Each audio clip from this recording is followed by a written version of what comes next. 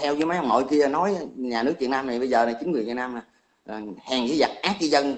Đó cũng theo phe với cái cái cái thằng mà gì Benny Trương với cái thằng Tân Thái rồi thằng Trần Phong rồi thằng Trần Nhật Phong rồi gì đó mở miệng ra là yeah. Việt Nam là hèn với giặc ác với dân. Các bạn biết thế nào là hèn với giặc ác với dân không? Tôi nói năm 1900 trước năm 1975 kể cả sư lính sư đoàn 7 và sư đoàn 9 đánh vô trong cái vùng của tụi tôi mỗi lần mà nghe tiếng AK nổ thôi là chạy té thôi mấy cái súng khác thì nó còn nó còn, còn không sợ chứ nghe AK là nó gặp thứ dữ rồi. nổ cái B40 là nó thấy là là nó quýu rồi. Rồi ai hẹn? Ai hẹn với ai? Đó rồi cho tôi kể lại cái vụ mà đánh Trung Quốc đánh nhau với Trung Quốc ở Hoàng Sa đó. Dạ. ai hẹn với ai? Ham chiến tranh lắm. Trung Quốc nó mới qua nó hỏi cái là bắt đầu suối đánh. Suối Việt Nam đánh đánh trận. Các bạn biết đánh trận khổ như thế nào không đánh nhau khổ như nào gây ra gây ra một cuộc chiến tranh nó khổ cái nào không? Đầu tiên là người thanh niên họ phải rời bỏ gia đình. Thanh niên phải rời bỏ gia đình, nhập ngũ đi đánh trận. Tôi nói lại trước khi tôi nói lại cái này. Trước khi tôi nói cái này tôi nhắc lại cái vụ mà hồi nãy trong cái clip có nói là bảy thằng Việt Cộng đeo cái tàu đổ đủ không gãy mà hồi xưa là cái trường đơn hồi xưa đó trường hồi xưa bao nhiêu những năm những năm mà chiến tranh giải phóng miền Nam đánh Mỹ giải phóng miền Nam bao nhiêu thanh niên người Bắc và cả thanh niên miền Nam gia nhập quân đội cái lực lượng và mà gọi là quân giải phóng á yeah. Dạ. quân giải phóng miền Nam á là quân giải phóng á các bạn biết tại sao mà nó nói như vậy không yeah. Dạ. các bạn biết tại sao mà nó nói là bảy thằng Việt cộng đeo cầm một cộng đu đủ mà không một cành đu đủ mà không gãy không anh chia sẻ với mọi người nghe cái đơn giản thế này nè bộ đội thì ở trong rừng với cán bộ cán bộ kháng chiến ở trong rừng không? Mà hãy gặp lúc mà nó càng những lúc mà nó, nó tổng coi tổng tấn công nó càng nó càng quét thì làm sao binh lực mình yếu mà đâu có chống lại nó phải nằm dưới hầm rồi dân mà cho ăn được thì có ăn đỡ không có. Nhịn đói có khi ba bốn ngày trời dân lén ra cho ăn nhiều cái người mà gọi là những gia đình cách mạng đó. Những người mà, mà, mà họ có công với cách mạng họ nuôi họ nuôi giấu cán bộ đó. Họ đem ra bị lính nó bắt nó đánh gần chết luôn thậm chí đó thậm chí yeah. Nó bắn luôn. Nó, lính, lính mỹ lính mỹ rồi nó trình mấy thằng bị kích rồi nó phục kích nó bắn. Đó đói. Nếu mà ở trong miền nam ở trong miền nam mà dùng đồng bằng thì đói. Xanh lè xanh lét. Ốm nhôm nhắc khi nó bắt được thì ốm nhôm nhắc thì nó nói thì nó tiên nó chụp cái hình nó nói tuyên truyền. Riêng nữa là cái vốn người việt nam mình xưa nhỏ con. Xưa yeah. là vốn nhỏ con. Rồi cặp cầm yeah. thêm cái nữa là gọi là ốm đói dùng từ ốm đói yeah. đúng đúng nghĩa hơn. Đó rồi ốm nhôm nhắc nhỏ con gặp thêm ốm nhôm nhắc nữa xanh lè lét nữa. Thì nó nói tuyên truyền nó bảy với nó vẽ cái hình á. Nó chụp cái hình yeah. cũng có họa sĩ không hay cái bảy giờ cộng đeo cái tàu đổ đủ không gãy. Đó. Rồi đó là đó là trong miền nam. Rồi ở vùng đồng bằng rồi ở vùng rừng núi bị sốt rét. Các bạn biết thiếu tôi nè 7 năm trời tôi tôi tôi ở ở rừng tôi biết tôi sống ở rừng tôi biết tụi tôi còn còn có gạo có cơm được ăn đỡ. Nhưng mà trước năm 1975 là sống ở trong rừng. Lương thực thực phẩm không có. Bị sốt rét rồi bị bom đạn. Chết bị thương. Chết, lớp chết lớp bị thương. Người nào còn sống thì cũng thân tàn ma dại. Bị sốt rét xanh lè xanh lét cũng nhôm nhắc. Bắt các bạn chưa thấy một cảnh sốt rét tôi bị sốt rét một năm trời. Tôi đi bộ đội tôi 72 kg khi tôi trở về tôi bị sốt rét một năm trời tôi còn 48 kg các bạn tin không? Ăn không à. được. Cầm cái chén cơm mới vừa cầm chén cơm lên thôi là đã run rồi nó lạnh ở trong người sốt trừ sốt. Yeah. tôi nói các bạn không tin không rồi, rồi, rồi chính vì những cái hình ảnh nó của người bộ đội mình của quân đội nhân dân của, của người bộ đội và quân đội nhân dân Việt Nam bộ đội trong quân đội nhân dân Việt Nam là bị ốm đau như vậy đó. Nó mới vẽ một cái hình nó bảy thằng Việt cộng.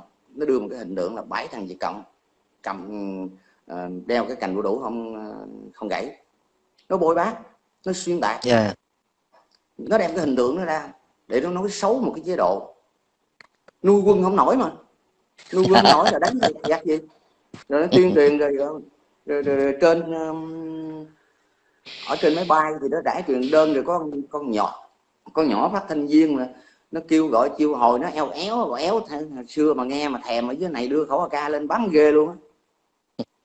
Nó nói để các bạn thấy rồi đó tôi trở lại cái vấn đề hồi nãy là nói là là trong cái, cái, cái, cái thích mỗi cái đụng cá cái đội đánh Trung Quốc đội đánh Trung Quốc.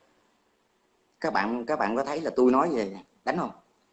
Đầu tiên á là cái lực lượng mà tham gia quân đội để đánh trận đánh giặc thì phải là thanh niên khỏe mạnh. À, có kiến thức.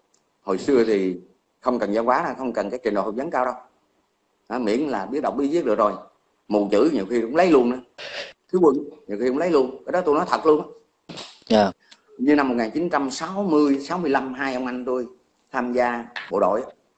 Từ 60 tới 65 hai người đi tham gia bộ đội.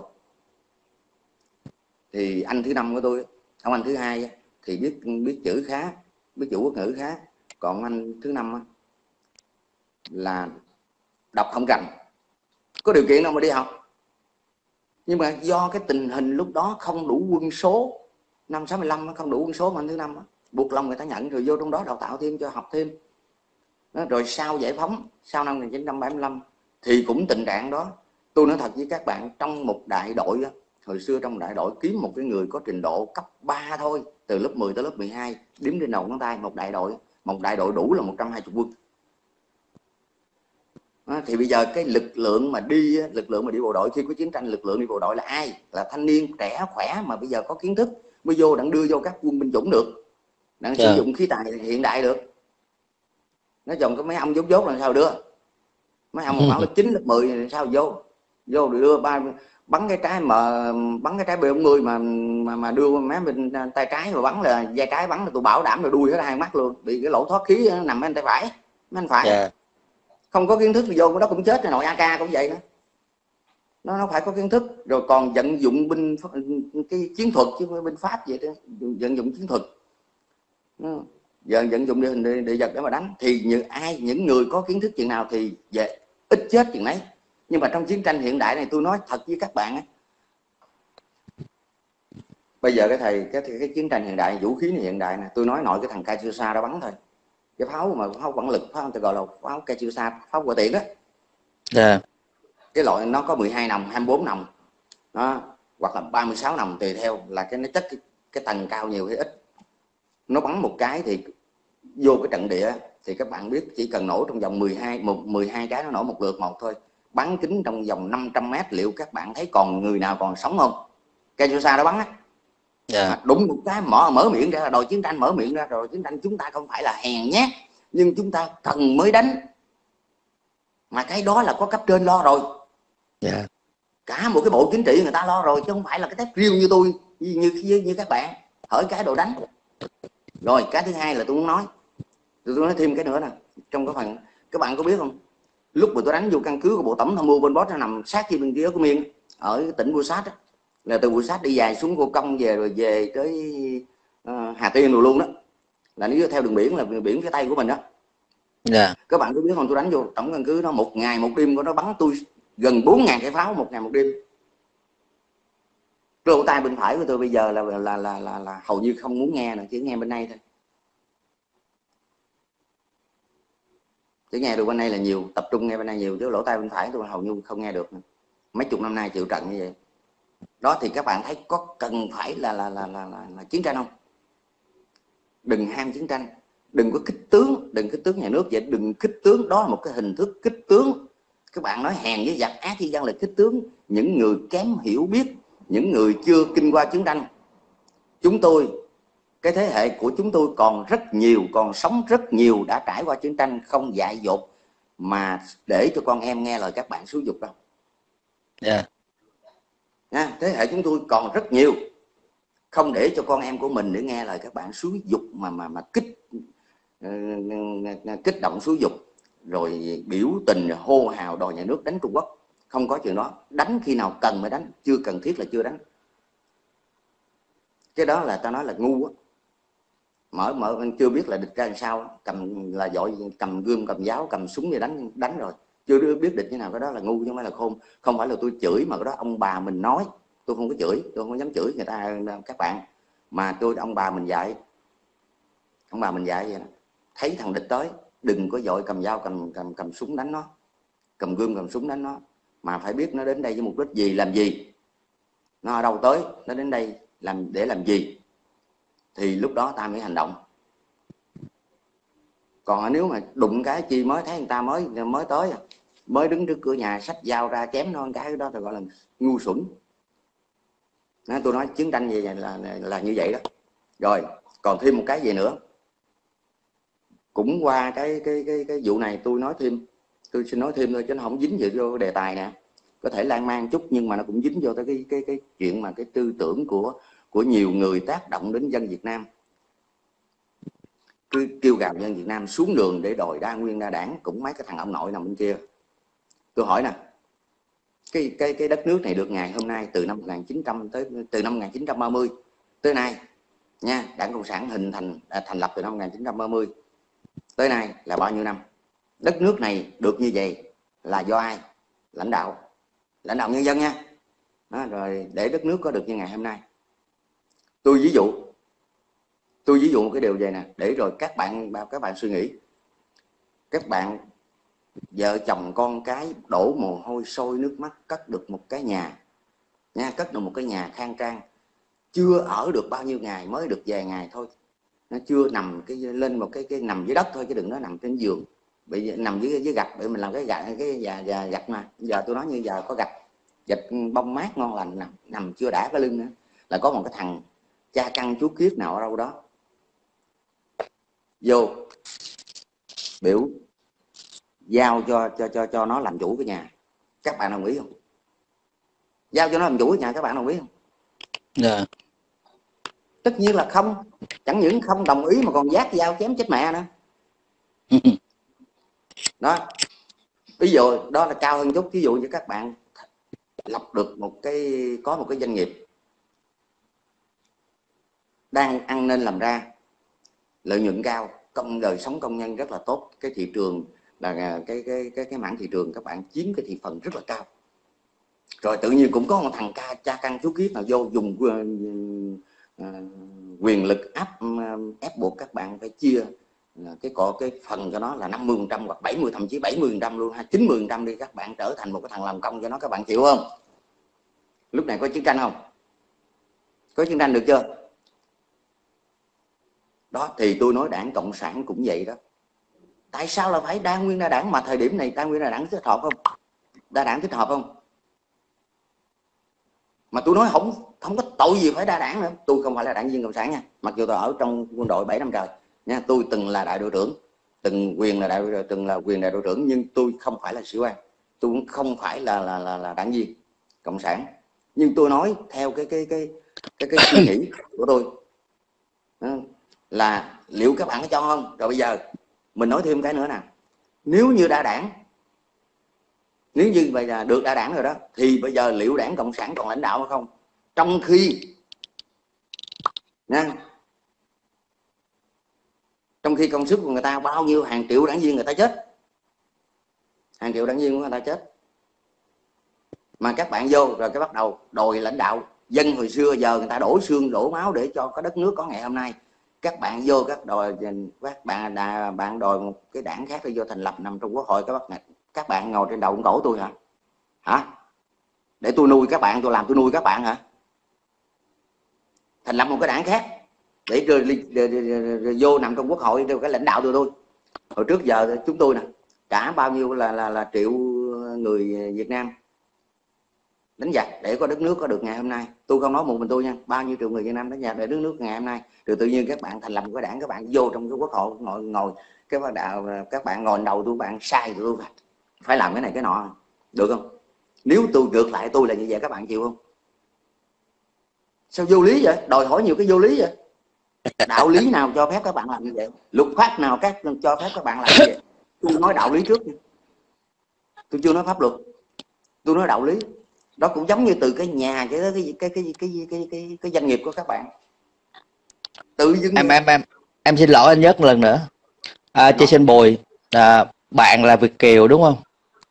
Tối thiểu bạn phải biết phép lịch sự đúng không bạn ok một lần là người ta đã hiểu rồi.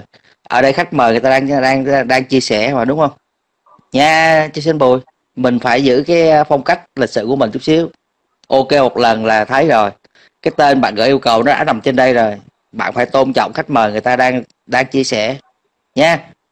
Đừng mang uh, cái gì đó để người ta nhìn sai về mình nha cho sinh bùi rồi em xin mời anh tiếp tục tôi thì tôi chỉ nói tôi chỉ nói qua cái vụ mà tôi chỉ nói gì có phần chiến tranh vậy thôi. Dạ. yeah. Hoàng chiến tranh tôi cho nói đơn giản vậy các bạn đừng bao giờ cứ nghĩ mỗi cái là cái đánh mỗi cái cái đánh. Đánh một là thắng hay không? Ở trong cái thế chúng ta hiện nay đánh thắng hay không? Rồi hao tài tốn của nhân vật lực tiêu hao tân nhật ờ, ờ, ờ, nhân vật lực. Chiến tranh nó tàn phá đừng có nói nữa các bạn chưa thấy đâu.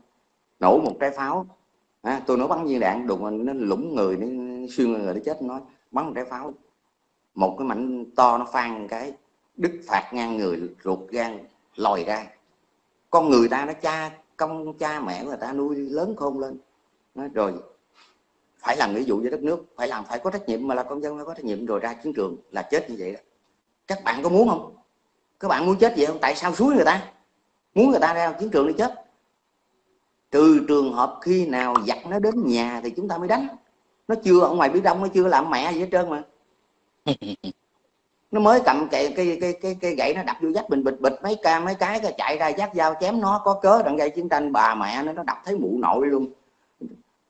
Tôi nói các bạn đừng bao giờ có cái tư tưởng tư tưởng là là là là, là, là xúi dục dân đánh Trung Quốc. Rồi cái thứ hai nữa là cái chịu cái biểu tình trong thời gian vừa qua.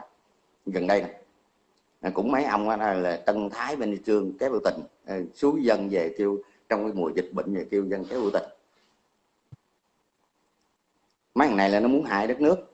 Nó muốn nó muốn hại dân nó muốn hại đất nước này càng ngày càng lụng bại đi.